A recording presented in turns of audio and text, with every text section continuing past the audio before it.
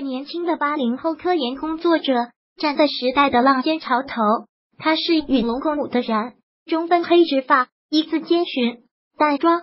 早晨七点刚过，提前半个小时到达摄影棚的陶丽梅精神焕发，瞬间令我们将她与最美科技人、年度女性榜样对上了号。曾随蛟龙深潜，又随雪龙破冰。唐丽梅是中国第一位兼具大洋深潜和极地科考两项经历的女科学家。她的经历既令人敬佩，也令人羡慕。雪龙带我去南极，随雪龙号科考归来三个多月。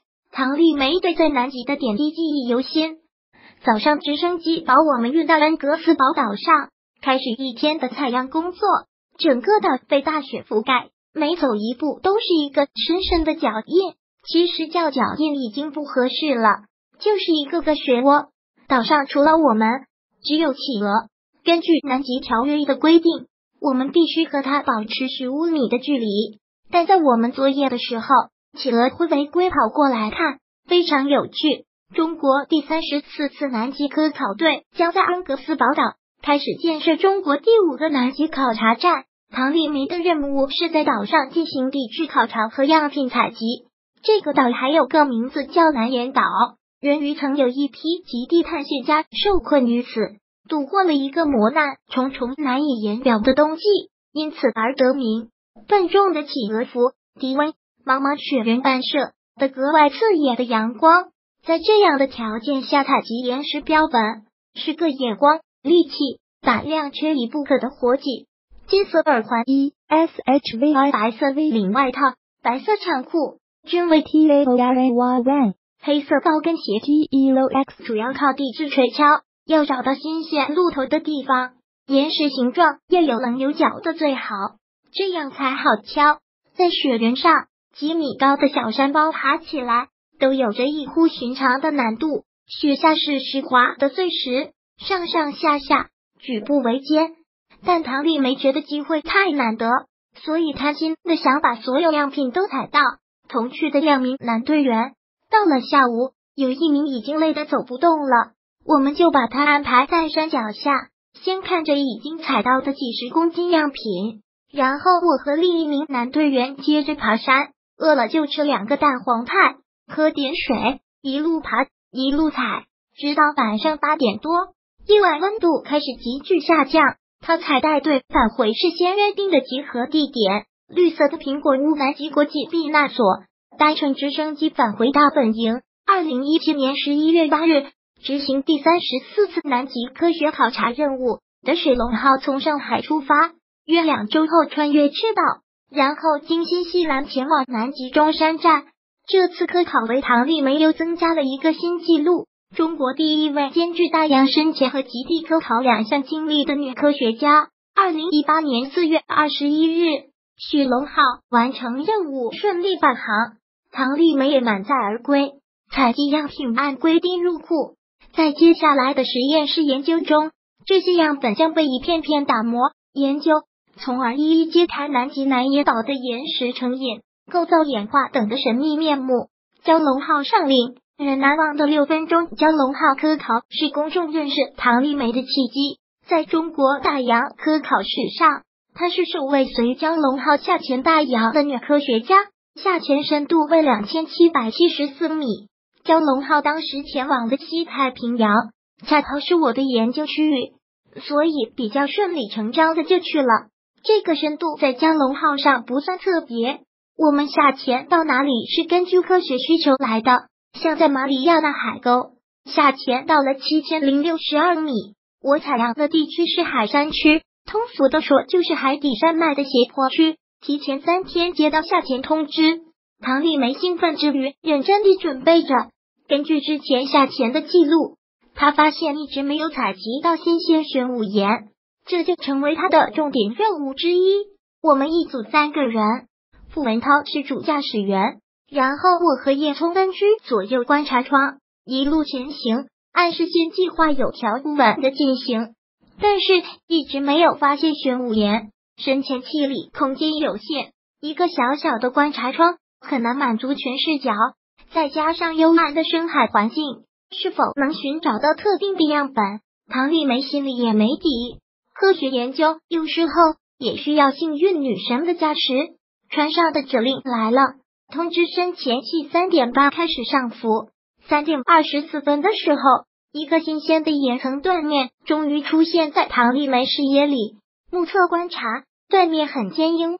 唐丽梅果断决定抓取，在主驾驶的操作下，岩石样本顺利采到。根据判断，基本可以确定是玄武岩。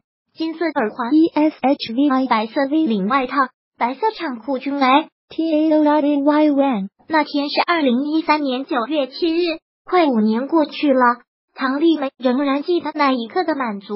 从蛟龙号带回来的资料进入中国大洋药品管统一管理，国内相关领域的研究人员都可以申请领用。唐丽梅的几项研究都已经完成，有一些成果已经发表出来。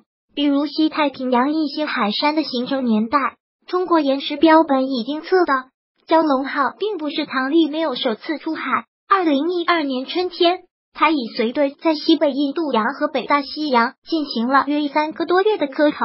从蛟龙号到水龙号，唐丽没有一个小小的苦恼，每次都会重新运船。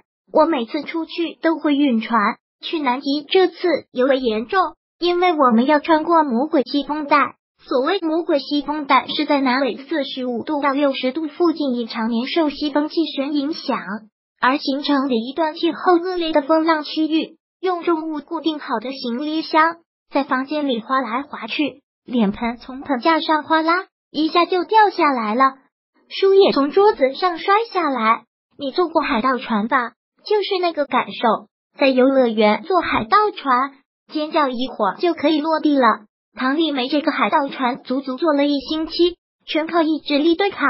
我们的首席科学家跟我们说，不管怎么吐怎么晕，都得一直坚持着，因为第一次如果认输倒下，后面就再也站不起来了。雪龙号返程时，唐丽梅给一岁多的女儿带回了礼物，是在新西兰买的奶粉和小海豹玩偶。没有石头，南极出了科考标本。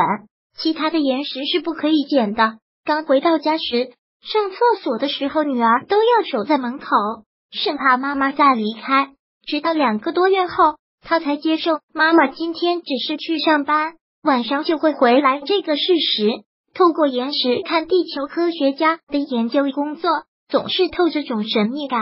而像唐丽梅这样做地质研究的，更是令普通人难以想象。他在实验室的画风。最基本的工作是把岩石样本的一部分磨成很薄的一片，我们叫它薄片，然后在显微镜下观察结构、构造和矿物组成，这是基础工作。然后进行该矿物的电子探针测试，最后的环节是把岩石破碎、研磨成粉末、溶解，在复杂的仪器上做实验，这样可以分析出它所含有的主要元素、微量元素。根据这些元素的组成特征，我们可以获得深部地幔的信息。简单的说，就是把坚硬的岩石掰开揉碎，从一片小小的样本去溯源地球的形成，窥探这个星球的奥秘所在。大量的实验室工作只是获得数据，对于科研来说，这只是起步的基础工作。阅读大量的专业论文，参加很多的学术交流，听报告，看文献。处理实验数据、写论文，这都是研究工作的内容，以及最伤脑筋的课题申请。申请课题其实看的是你的 idea，你要有很创新的想法、突破的科研成果，这个课题才能得到支持，这是很难的。金色单指耳环。G I A D A，暗红色。披肩连衣裙。G I A D A，艰苦枯燥，还有不匹配工作量的低收入。唐丽美好不会演年轻科学家的现实生活，但这是他毫不动摇的选择，因为我们可以去到全球，从太平洋到印度洋，从南极到北极，探索很多的未知，这是不能抵抗的美丽。唐丽梅讲了一个小故事：刚到南极的时候，冰上有两只企鹅，特别干净可爱，从水里跃出来，落到冰上，然后匍匐前进，那个样子很可爱。后来，我们去帮助新西兰修复他们的科考遗迹斯科特小屋，在埃戴尔角，那里是埃德利企鹅的聚集地。几千万只叽叽喳喳的，地上还随处可见企鹅的尸体和粪便，我的好感全没有了。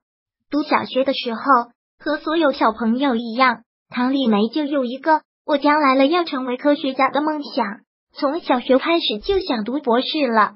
而下面这段经历听起来带着点逆袭的传奇感。虽然他的理想学校一直是浙大，但高考时候由于过于紧张，唐丽梅只考进了一所很普通的二本院校。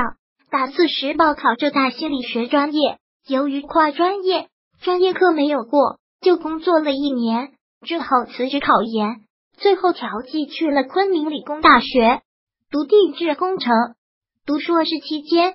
唐丽梅终于考进浙江大学，并且提前一年硕士毕业，到浙大攻读地质学博士，一路曲曲折折，终于到了浙大，到了自己认为应该在的地方。毕业之后，进入国家海洋局第二海洋研究所工作。